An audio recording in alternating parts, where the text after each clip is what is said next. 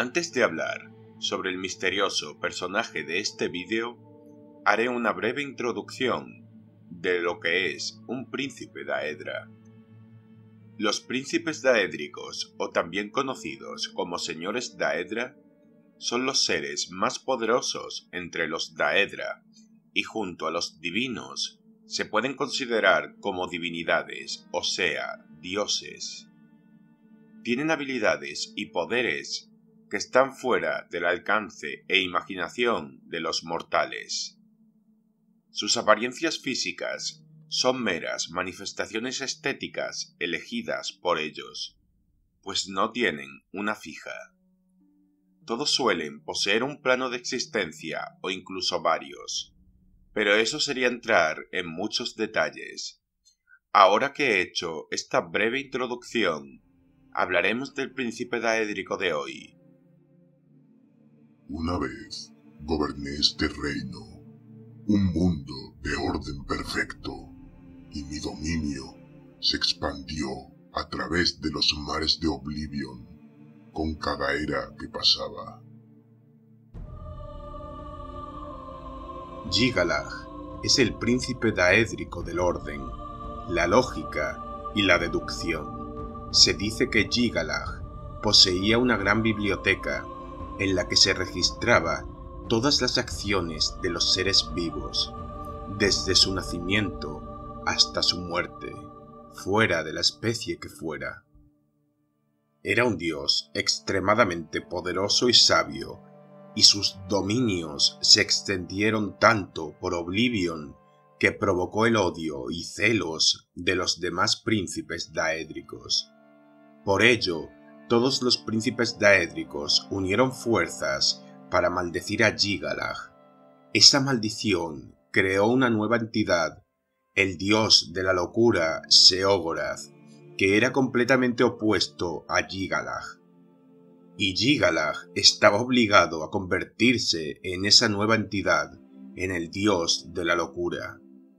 Pero eso sí, había una pequeña excepción pues una vez al final de cada era, Gigalag volvería a la normalidad, librándose del manto de Seogorath. Cuando Gigalag regresaba, lo hacía lleno de odio y furia. Lo primero que hacía era reconquistar su antiguo plano, que ahora era el plano de Seogorath, y lo destruía hasta las cenizas.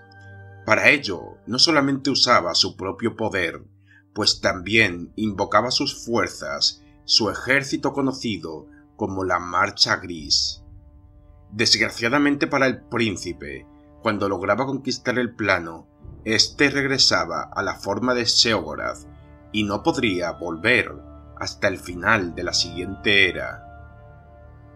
Un dato interesante es que mientras Gigalag estaba en la forma de Seogorath, no podía cuidar de sus múltiples reinos ni de su gigantesca biblioteca.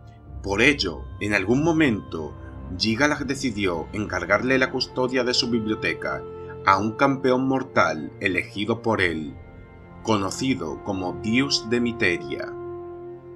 Aunque se dice que Seorath quemó la impresionante biblioteca del Príncipe del Orden y también acabó con todos sus sirvientes, a excepción de Dios de Miteria, que lo encerró y literalmente le prohibió morir pues el campeón de Gigalag contenía demasiado conocimiento y sería una pena que se perdiera. Ahora hablaremos de la historia de Gigalag en relación con los mortales. En el 399 de la Tercera Era, una puerta se abrió en el plano mortal y ésta se comunicaba con el antiguo plano de Gigalag, que ahora era el plano de Seogorath y era conocido como las Islas Temblorosas. Seogorath Sabía que se acercaba el momento en el que Gigalag volvería, por eso decidió buscar a un campeón al que concederle su poder y que le ayudase a detener la reconquista de Gigalag. El campeón que apareció era el héroe de Kabach o campeón de Cyrodiil, el mortal que había ayudado a detener la conquista del príncipe daédrico de la destrucción, Merrunes Dagon. La marcha gris comenzó a aparecer por las islas temblorosas, causando el caos. Gigalag estaba cerca. Seogorath le impuso varias pruebas al campeón de Cyrodiil, pero finalmente, y antes de la aparición de Gigalag, Seogorath le otorgó su bastón, además de sus poderes divinos, lo que convirtió al mortal en un dios, pues esa era la única forma de poder hacer frente al poderosísimo Gigalag. Al final, Gigalag apareció, el nuevo dios de la locura, se enfrentó al príncipe del orden. La batalla fue terrible, complicada de describir para la comprensión de los mortales. Y después de esta colosal batalla, Gigalag se retiró a Oblivion. Su maldición se había roto y ya no tenía que convertirse en Seorath nunca más. Lo curioso es que ese dios, que había sido creado para sellar a Gigalag, ahora era un ser completamente separado del príncipe del orden. Ahora eran dioses individuales. Y realmente la historia conocida de Gigalag termina aquí. El poderoso dios del orden está libre, pero desaparecido por algún lugar de Oblivion. Quizás en algún futuro, si Bethesda quiere, volvamos a saber de él. Pero antes de irme, hablaré de su único artefacto conocido. Este artefacto es la propia espada de Gigalag, una espada de simetría perfecta y hecha con un material cristalino de origen desconocido. Tenía un poder inmenso, tan poderosa como para destruir planos enteros, y con habilidades desconocidas que permiten ver el futuro, el pasado, e incluso puede que permita viajar por los mares del tiempo. Espero que te haya gustado el vídeo.